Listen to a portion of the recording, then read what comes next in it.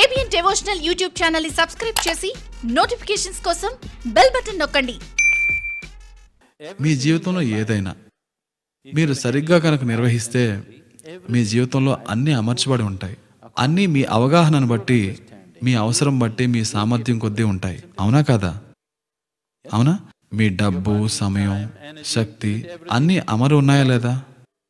అన్నీ మీకు నచ్చిన అమరికలేగా ఇది కూడా అంతే. ఎంత కావాలి? ముందు అసలు మీకు అది అవసరమా? లేదా మీరు ఆ పని సమాజ ప్రోద్బలం వల్ల చేస్తున్నారా?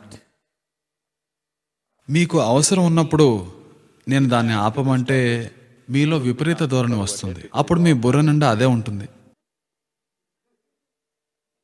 మీకెవరైనా ఇది చెయ్యాలి ఇది చేయకూడదు అని అంటూ ఉంటే మీలో మరో రకమైన విపరీత ధోరణి పడుతుంది. రెండూ అవసరం లేదు. మీరు ఒక స్త్రీ వెంటో పురుషుడి వెంటో పడడం లేదు. మీరు ఒక రకమైన ఆహ్లాదం వెనక పడుతున్నారు. ఒకసారి మీరు ఒక రకమైన ఆహ్లాదం అనుభవిస్తే దాని గురించి లోతుగా తెలుసుకోవాలని లేదా? ఎందుకంటే మీకు కలిగిన ఆహ్లాదం ఎటువంటిదైనా ఆ ఎదుటి వ్యక్తి సాంగత్యం వల్ల కలిగి ఉండొచ్చు. కానీ అది మీ లోపలే కలిగింది అవునా? సరే ఇక. మీ లోపల కలిగిన ఆనందానికి ఆ ఎదుటి వ్యక్తి తాళం చెవి అయి ఉన్నప్పుడు ఆ తాళం చెవి ఏదో మీ చేతిలోనే ఉంటే బాగుంటుంది కదా. అవునా? మీరు ఇలా కూర్చోగానే మీరు పూర్తిగా తన్మయం చెందుతారు. మీకు ఎవరూ అక్కర్లేదు. చూడండి ఏదైనా మీ జీవితంలో ఏదైనా అది సుఖానికైనా సంపదకైనా ప్రేమకైనా దేనికైనా సరే ఏదైనా సరే మీరు దానికోసం మరొకరిపై ఆధారపడ్డ మరుక్షణం ఈ భూమి మీద ఎవ్వరూ నూరు శాతం నమ్మదగిన వారు కాదు. అవునా? నేను ఈ ఫిర్యాదులు అన్ని చోట్ల వింటూనే ఉంటాను. కొందరు సాధారణంగా స్త్రీలు ఫిర్యాదు చేస్తూ ఉంటారు. వాళ్ళ భర్తలు చాలా ఎక్కువ శృంగార భావనలతో ఉంటారని. మరికొందరు అసలు నన్ను వేలేసి ముట్టుకోడు అని ఫిర్యాదు చేస్తూ ఉంటారు. ఏది చేసినా ఒక సమస్య. ఎందుకంటే మీకు కావలసినట్టుగా ఎప్పుడూ ఉండరు. ఎందుకంటే ఎదుటి వ్యక్తి ప్రమేయం ఉన్నంత వరకు ఏది పూర్తిగా మీకు నచ్చినట్టు జరగదు. అవునా కాదా? చెప్పండి. ఇది ఎప్పటికీ జరగదు కూడా. మీరు దేవుణ్ణి పెళ్ళి చేసుకున్నా సరే అంతా మీకు నచ్చినట్టుగా ఉండదు గాక ఉండదు.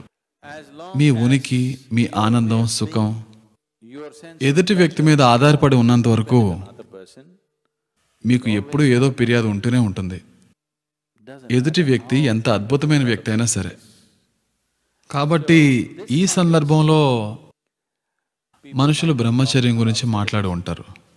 అంటే మరొకరి నుండి సుఖాన్ని రాబట్టుకోవడానికి మీరు ఎన్నో రకాల గారడీలు చేయాలి. ఏది ఊరికే జరగదు. దాన్నే కోర్టింగ్ అంటారు.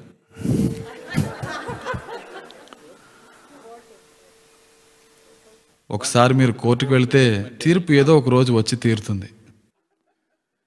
అది చాలా సమయం శక్తి ప్రయత్నంతో కూడుకుని ఉంటుంది. అందులో ఎన్నో రకాల ఇతర భయాలు ద్వేషం కోపం తాపం అన్నీ కూడా కలిసి ఉంటాయి. అందుకే పెద్దవాళ్ళు వీటికి దూరంగా ఉండి మన లోపల నుంచి దీన్ని పుట్టించగలమేమో చూడమన్నారు. అప్పుడు మీరు మనుషులతో ఉండడం అనేది మీ అవసరం కంటే మీ ప్రేమను పంచడానికి అయి ఉంటుంది. మనుషులతో ఉండడానికి ఇది కొంచెం మెరుగైన మార్గం కదా? ఎదుటి మనిషిని గౌరవించడానికి ఇది మెరుగైన మార్గం కూడా. అవునా కదా? దీనిపై మరి కాస్త ఎక్కువ శ్రద్ధను చూపించండి. వారిపైనో వీరిపైనో మరొకరిపైనో శ్రద్ధ చూపించడం కన్నా దీనిపై మరి కాస్త శ్రద్ధ పెట్టండి. ఇది ఇతరులు మీకు కలిగించే సుఖం కన్నా ఎంతో ఎక్కువ సుఖాన్ని మీకు కలిగిస్తుంది. ఏబిఎన్ డివోషనల్ యూట్యూబ్ ఛానల్ని సబ్స్క్రైబ్ చేసి నోటిఫికేషన్స్ కోసం బెల్ బటన్ నొక్కండి.